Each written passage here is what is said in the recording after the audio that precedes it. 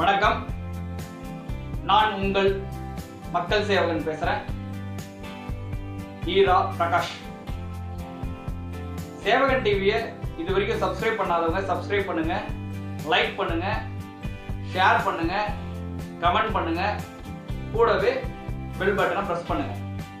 இந்த வீடியோவில் நம்ம என்ன பார்க்க போகிறோம் அப்படின்னா மூல நோயை பற்றி பார்க்க போகிறோம் மூல நோய் ரொம்ப கொடிய கொடுமையான நோயாக இருக்கும்.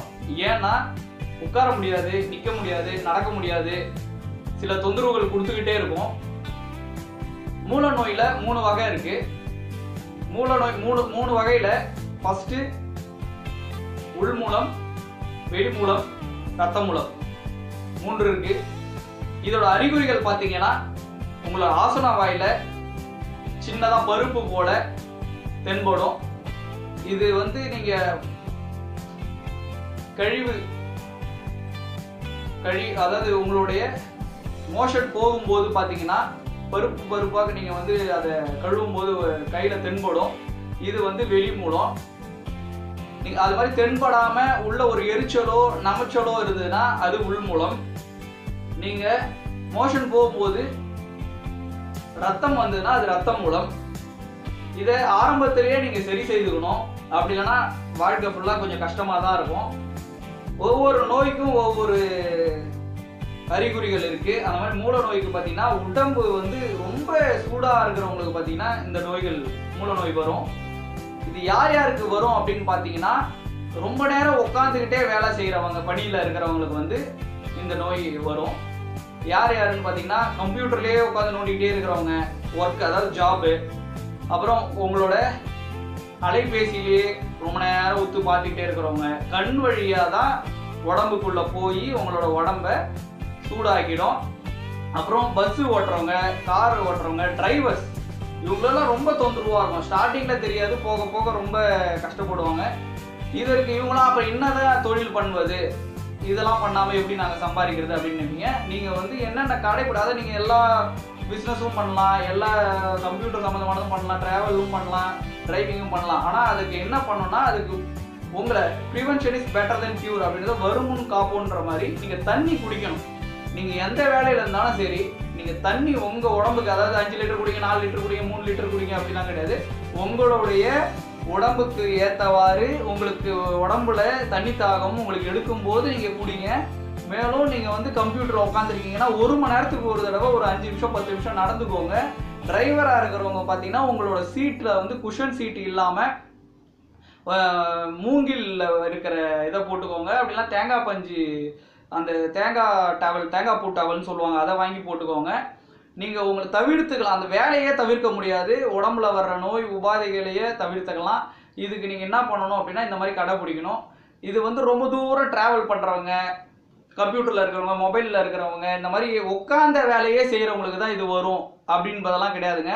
உடம்பு சூடாகிறதுக்கு அவங்க என்ன மாதிரி வேலை செஞ்சாலுமே வரும். வாரம் ஒரு நாள் சனிக்கிழமை ஒரு நாள் வந்து எண்ணெய் தேய்ச்சி குளிங்க.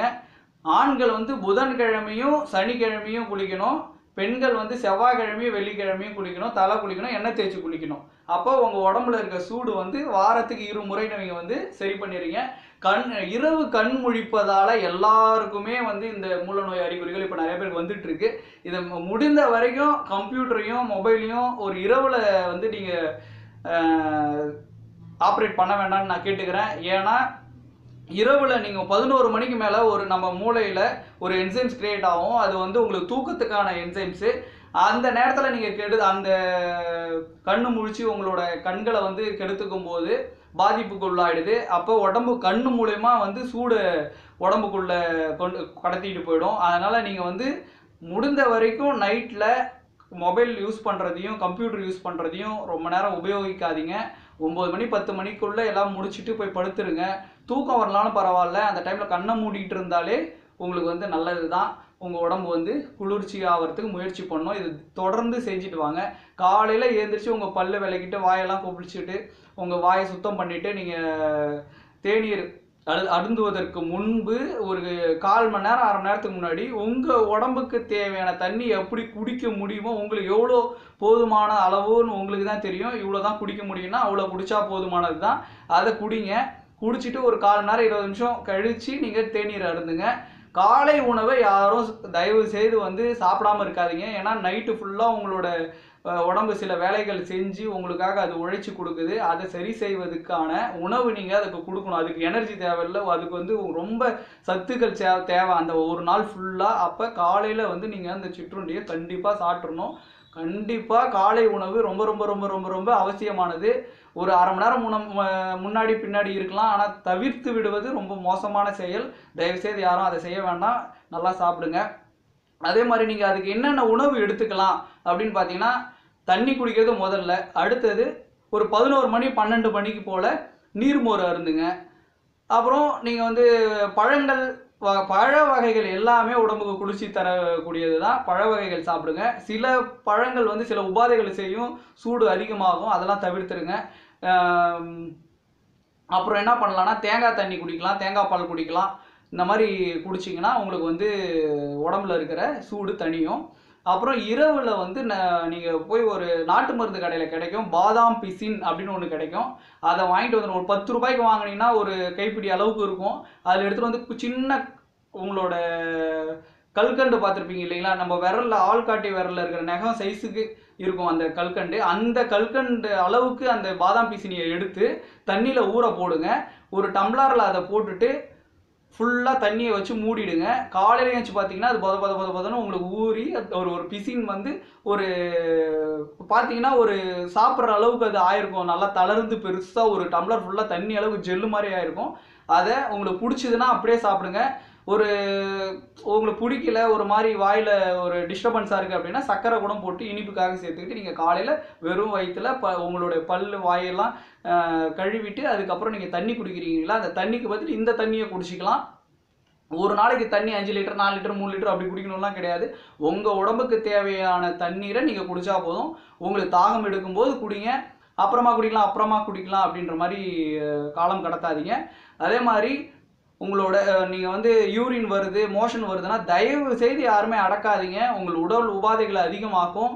உங்களோட உடம்பு சூடு அதிகமாக்குறதுக்கான வேலையும் அது பார்க்கும். அதுவும் மோஷனை சுத்தமாக அடக்காதீங்க. யூரினையும் சுத்தமாக அடக்காதீங்க. ஆனால் மோஷனை ரொம்ப அடக்குனீங்கன்னா அது வந்து உங்களுக்கு கல்லாட்டம் அடைச்சிக்கும். அப்போ அதுவே மூல நோய் வர்றதுக்கான காரணமாகிடும் அதனால் எல்லாரும் என்ன பண்ணுங்க முடிஞ்ச வரைக்கும் எதா என் எவ்வளோ ஹார்ட் ஒர்க் பண்ணாலும் சரி உட்காந்துக்கிட்டே வேலை செஞ்சாலும் சரி நல்ல உழைப்பு கொடுத்தாலும் சரி கொஞ்ச நேரம் உங்களுக்கு ஒரு மணி நேரத்துக்கு ஒரு அஞ்சு நிமிஷம் வந்து நடங்க.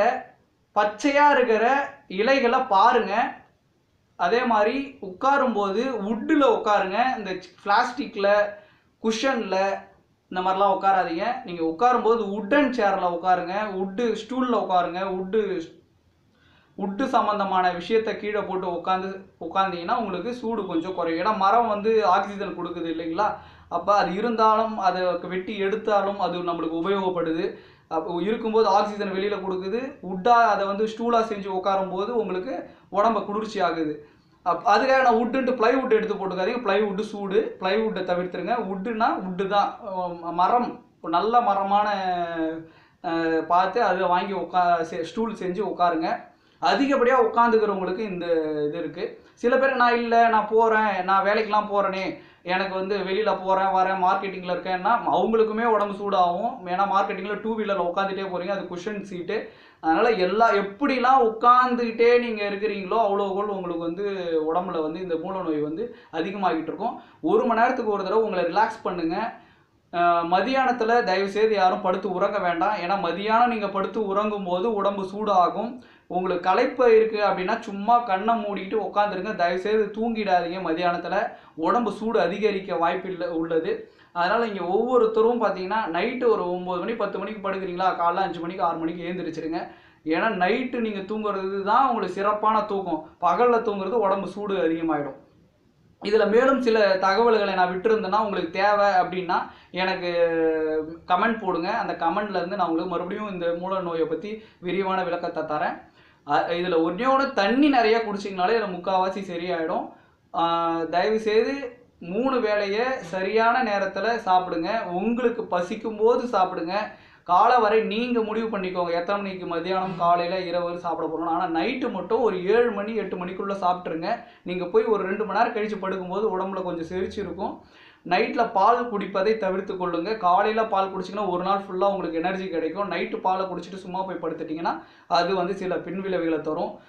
மேலும் சில தகவல்களை தெரிந்து கொள்ள health tips beauty tips awareness education motivation இந்த மாதிரி ஏதாவது தேவைன்னா கமெண்ட் பாக்ஸில் போடுங்க. நான் உங்களுக்கு தகவலை தெரிவிக்கிறேன்.